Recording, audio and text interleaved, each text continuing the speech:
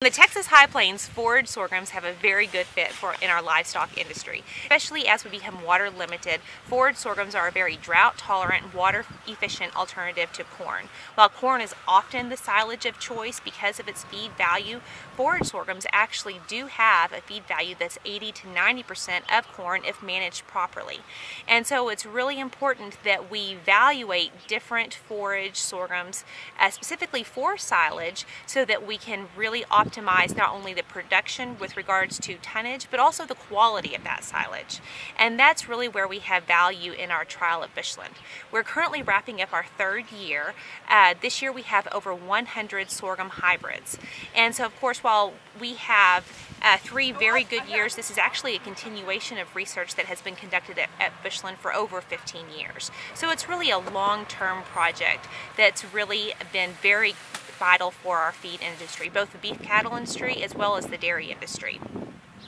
This year Bushland, not only were we looking at the production with regards to tonnage, but we are also looking at the quality at harvest. And of course, that's really critical because the quality of the silage really is going to be based on the quality of the forage that was ensiled. Now, of course, end user management really is important with regards to silage production. And so we are also looking at um, ensiling duration for forage sorghums. We actually have a trial where we're looking at forage sorghums that are ensiled for 30, 60, 60 and 120 days to optimize not only the energy but that in-use feed value of that forage sorghum. In addition to the ensiling duration, one of the big concerns for end users is actually the uh, grain processing. And oftentimes that sorghum berry is not cracked when it's ensiled, which can reduce the feed value and the carbohydrate availability. And so we are looking at uh, forages that have been cracked, the berry has been cracked, as well as the berry being unprocessed. So we can determine how the processing of that berry might affect the feed value of that forage. One of the challenges that we've had this year are sugarcane aphids. We've had to spray twice in order to manage sugarcane aphids. However, uh, there's a big concern across the region with regards to sugarcane aphids and how that might affect the quality of our forage sorghums. So we have a very good opportunity to go in and evaluate how the sugarcane aphids might affect not only the production with regards to tonnage, but also the quality of that forage sorghum.